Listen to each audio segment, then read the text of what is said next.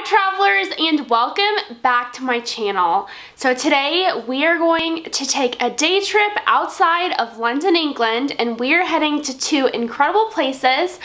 We are going to Hampton Court Palace and the Stonehenge. So I'm going to take you along on our journey. The great thing about both of these places is that they can be easily done on a day trip outside of London.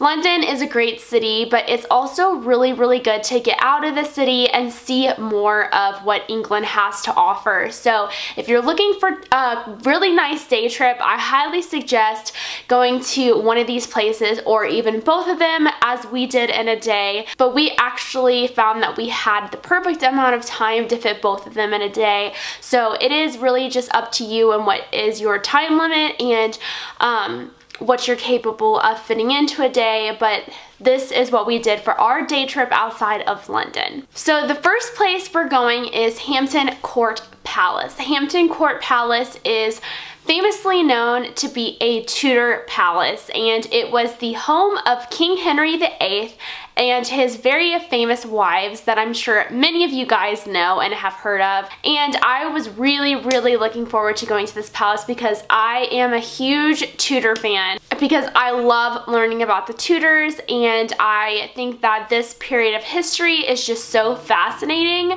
So this was really high on my list. So the first thing we did at Hampton Court Palace was grab a map and an audio tour. So the audio tour was absolutely incredible. It had to be one of the best audio tours I have personally ever done before. This tour is also super immersive and they have a ton of like specials that you can listen to as well if you have the time.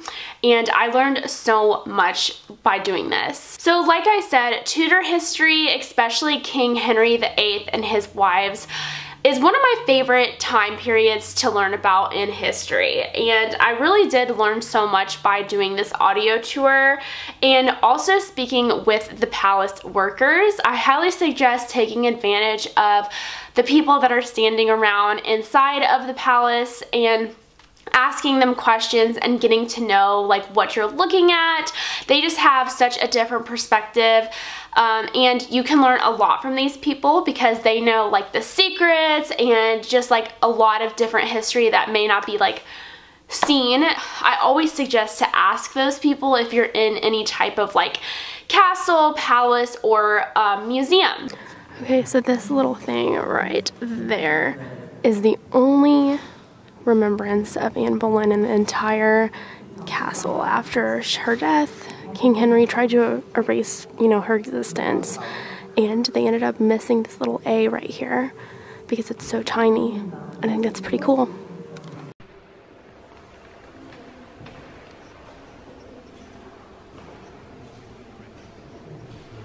Alright guys, we just got finished with the tour, the audio tour inside. Now we are going to be walking around the Royal Gardens, which I'm really excited for.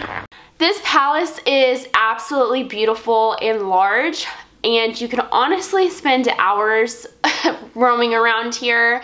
I could have spent seriously an entire 24 hours just walking around this palace. So definitely give yourself ample time to look around, get to know the history on a different level, and just like really taking in this experience. Something that I love to do when I am at a historical site, especially at a place that means like a lot to me, is just like putting myself in that place and realizing that so much history has been done at that place and like what the walls have heard and seen is just so cool to think about and I just really really loved my experience at Hampton Court Palace. Hampton Court Palace is about 50 minutes to an hour outside of London so it's a super easy day trip where you don't have to venture too far if you don't want to um, but it's super accessible and you can easily do it in a day. Alright guys, so apparently this is the largest vine in the entire world and it covers the roof of this entire place. Wow. That's where the roots are. It's amazing. All right, we just got finished with our time at Hampton Court Palace. It was so beautiful. Highly suggest it, especially if you're into Tudor history. Uh, so wonderful. Anyway, we are off to our next spot. The second stop on our trip was the Stonehenge. So I'm sure everyone has heard of the Stonehenge. It is very cool, as touristy as it is.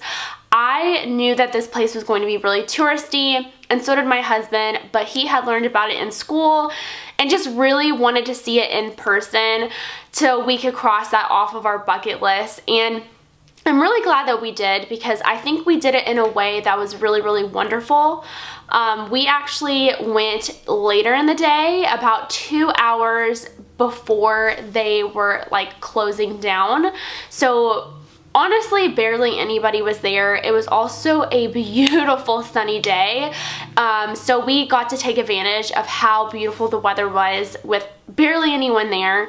And we we almost had the whole place to ourselves other than just a few different families. So it was quiet. It was really wonderful. And I, it was just so cool to see this in person considering how many times I've seen this like on video, on in pictures, and just to see it in person it was really really cool. So I highly suggest um, if you're gonna go make sure you time it out right. Stonehenge is only about two hours outside of London so it's also a really great thing to see if it's just a day trip outside of London. You can easily get there. If you aren't driving a vehicle then you can also easily get a tour.